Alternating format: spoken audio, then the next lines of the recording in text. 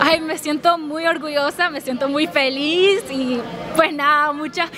Quería decirle a mi mami que la quiero mucho, muchísimas gracias por todo el entrenamiento artístico. Te lo, te lo agradezco bastante porque sin ti no hubiera logrado lo que hice hoy. El consejo que Pedro Capo me dio es no dudar de mí y pues nada, eso es lo que hice. Cuando hice mi presentación sentí que sí hice un buen trabajo, pero yo, yo pensé que todas las chicas habían hecho un buen trabajo y que este premio podía ser cualquiera de, de, las 12 que estábamos ahí paradas. Y todas las chicas me decían, fuiste tú, tú, tú, tú, tú.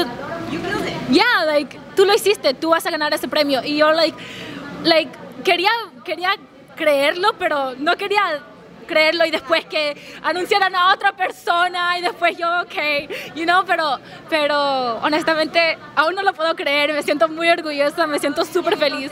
Honestamente, como Daddy Yankee nos va a, nos va a dar un como Daddy Yankee nos va a dar otro, otro género fuera de nuestra zona de confort, entonces ya me estoy preparando para lo que sea. Como dije en mi presentación, lo que sea que me dan, yo lo hago y hago un buen trabajo. Y yo voy a trabajar el doble, el triple, hasta que me salga perfecto. Hola mi gente de Press Pass Latino, les invito a que vean Reina de la Canción todos los domingos a las 8, 7 centro por Univision. Besos.